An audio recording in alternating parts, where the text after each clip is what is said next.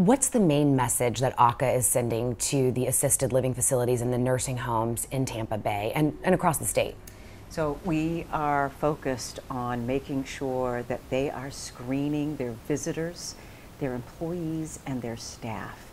That we need to have laser beam focus on making sure that if anyone is sick, they're not visiting a nursing home. If they have traveled internationally, but certainly to the high risk countries, that they're not visiting a nursing home or assisted living facility. If they've been on a cruise ship internationally, again, we need to be very diligent in making sure that we are preventing this virus from coming into our nursing homes and our assisted living facilities because our elderly are at such great risk.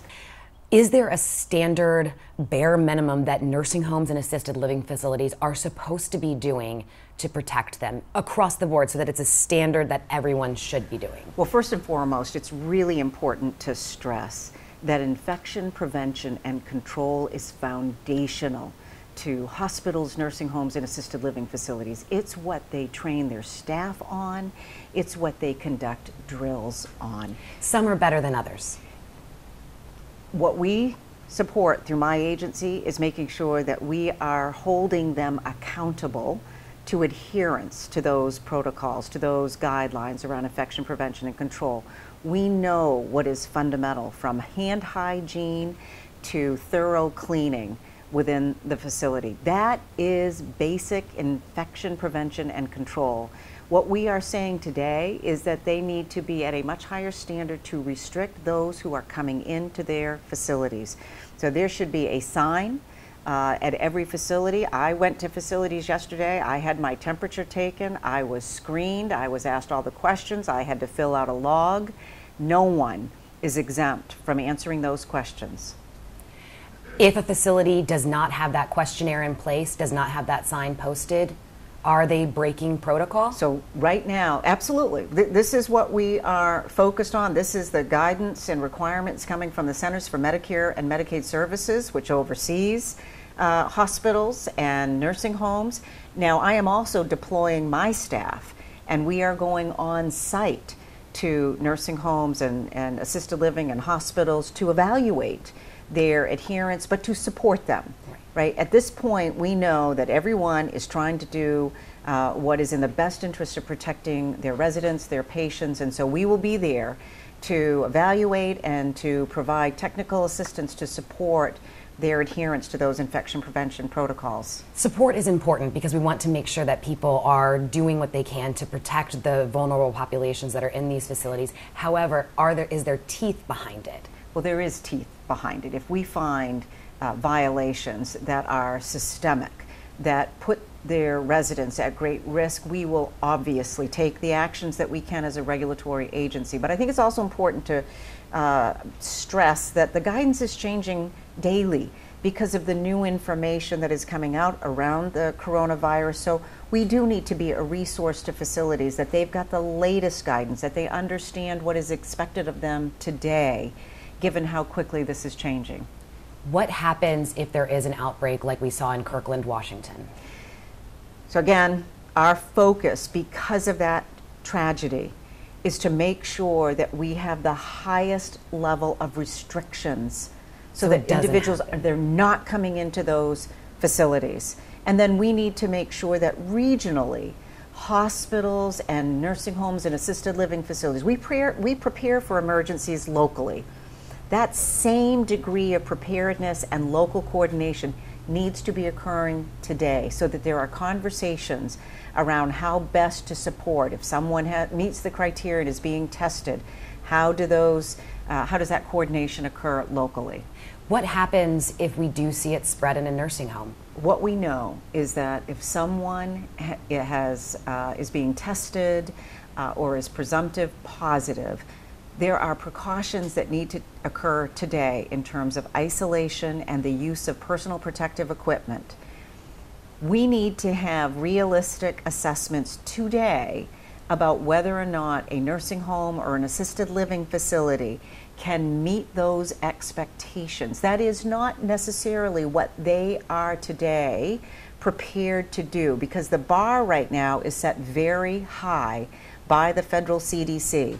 That's why those conversations need to occur locally to make sure that if someone fits the criteria and there's a need to transfer, that that happens rapidly. If there were a resident in an assisted living facility who is ill with COVID 19, that person would likely be transferred versus. That, that person would likely be transferred, particularly because of their uh, compromised medical, their, their vulnerability to begin with.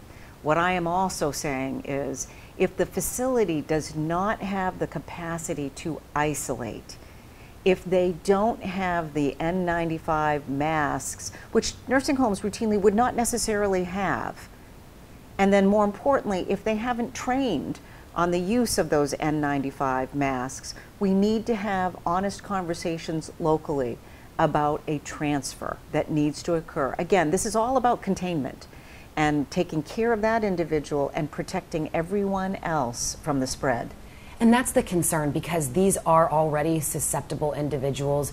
Transferring them, moving them from a facility, even during a hurricane, can be very traumatic and it can cause, it can worsen health problems that maybe already exist. So that would be the last thing that you would want to do? Well, we have to look at the rapid spread of this virus and need to understand what true containment looks like. And so we will have to uh, certainly evaluate how best to accomplish that transfer if the facility can't meet those requirements around isolation and the use of personal protective equipment. Now, that may be that there's a wing that can be dedicated, that there is another facility that is prepared to, to accept. Uh, but that really has to be a, a strong focus. Can we achieve these objectives around containment? Have you identified the facilities that may not be able to contain the virus? There are older nursing homes uh, or assisted living facilities that don't have the um, structure, the negative pressure rooms. They're not set up for that. And, and it's just, it's important to understand the CDC has set a much higher uh, standard for the isolation and the use of personal protective equipment. Nursing homes know how to deal with the flu. They have strong infection prevention and control in place.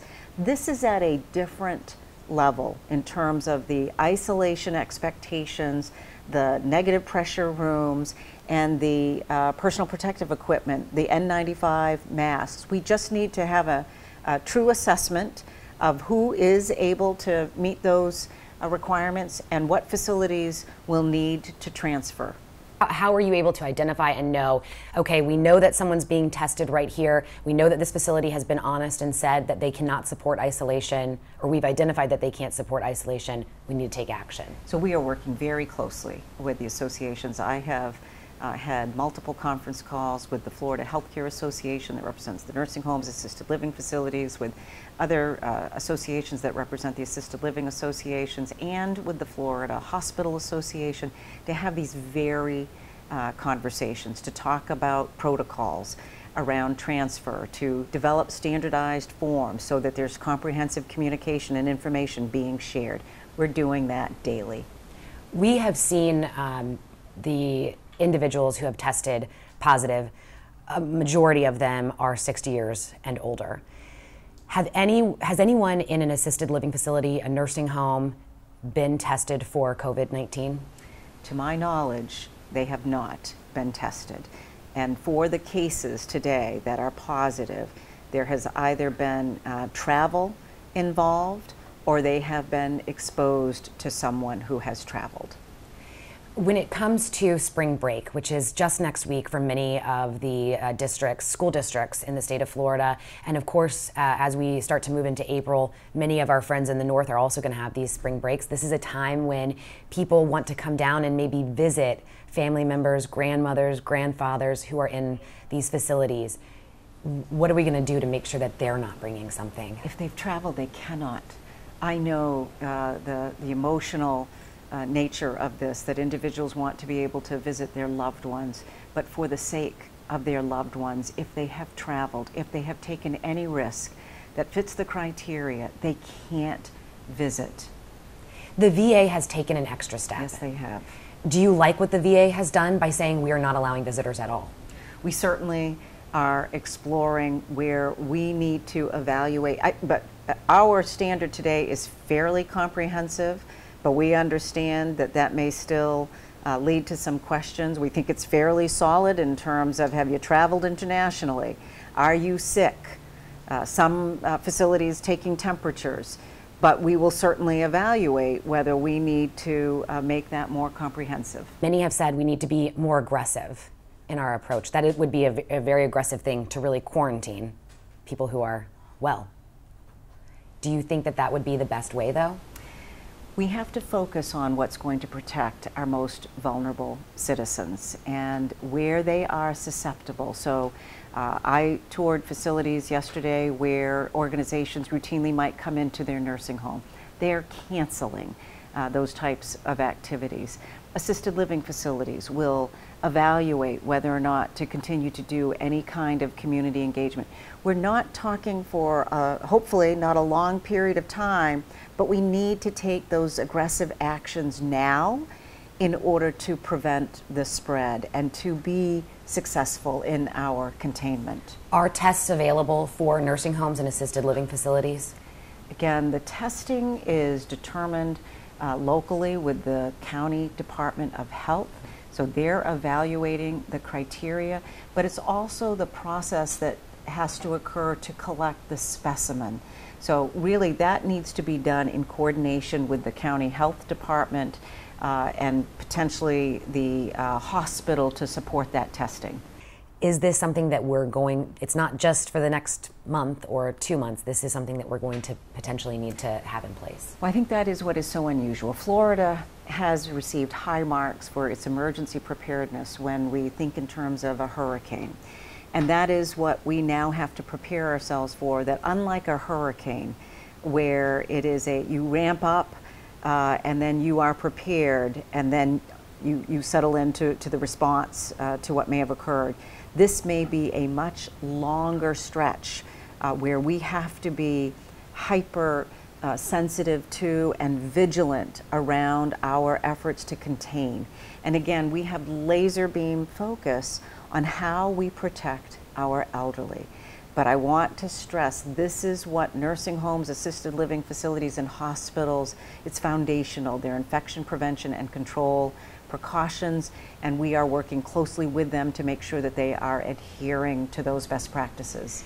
For individuals who may not be familiar with this, um, when it comes to a nursing home, an assisted living facility, a hospital that has had an issue when you all have gone in for inspections and they maybe haven't done so well in infection control, that's immediately fixed right then and there. It is immediately fixed, and, and we look so closely at everything because it is foundational infection prevention and control. We are looking to make sure that every aspect of their adherence uh, is evaluated. And certainly fundamental to that is hand hygiene, cleaning the facility. So when we go in to inspect, we are looking comprehensively. So the least, uh, the smallest violation is identified to make sure that the uh, facility is comprehensive in their approach. And right now, those facilities that have previously received, had deficiencies, those are the facilities that you're double checking. So, uh, first of all, I want to uh, stress we have been in over 275 nursing homes uh, over the last two weeks. We are focused per uh, additional direction from the federal government to identify any of the facilities that have had uh, violations that led to a higher level of risk. So we will be on site in those nursing homes to make sure that both we're supporting them and that they are adhering to those infection prevention requirements. And then this is a question uh, I was talking with a, a coworker of mine about, but it's true. With with children, I have two young children. We talk about hand washing and the importance and how to wash your hands thoroughly. When it comes to some of these um, elderly individuals, are we talking to them about the best way to wash their hands? They may be in their 80s and they may have been washing their hands for 80 years, but reinforcing the best practice. It's such an important point, and we do we expect, when we talk about hand hygiene, it isn't limited to those who visit or to the staff. It, it pertains as well to our residents. And so, yes, that is very much a part of the equation as well, that we are supporting effective hand washing for our residents, for our patients. Could you walk me through if I'm in a, nursing home and I, and I, and I, let's say it was the flu, for example, because this is something that we've dealt with, flu, pneumonia. If I'm in a nursing home, am I do they call a doctor or is there doctors on staff? I'm, I'm unfamiliar. So, I'm so it's going to depend on the facility, Okay. but certainly many um, residents may still have their local physician who will be contacted and will help to support uh, managing their, uh, their medical needs, including if they were to have the flu. And we would expect that if there are any concerns, respiratory illness for an individual in the nursing home, their first call is going to be either to the medical director, to the clinical staff, to their local physician to evaluate and then to the extent that there's uh, an unexplained respiratory illness or there's potential for exposure to someone who traveled, they're going to call the county health department and coordinate from there. Just to be clear, the individuals who have tested positive for COVID 19, and unfortunately the two individuals who have passed away from COVID 19, none of these individuals were in assisted living facilities or nursing homes. We do not have any cases today in a nursing home or assisted living facility. We are absolutely encouraging facilities to have effective and comprehensive communications with family members so they understand uh, all of the precautions that the facility is taking, that they are looking at alternative ways for family members to connect with their loved ones in a nursing home, in an assisted living, if they are unable to visit, all in the best interest of protecting their residents. Should they feel comfortable that their loved ones are safe?